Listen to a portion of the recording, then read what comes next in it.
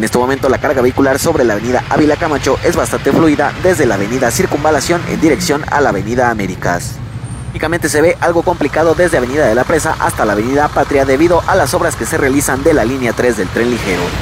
Después de este cruce la carga vehicular es bastante fluida hasta Zapopan Centro, por lo que te sugerimos manejar con precaución. Continúa informado con Tráfico CTMG, yo soy Rafael de la Torre con el reporte vial en redes sociales.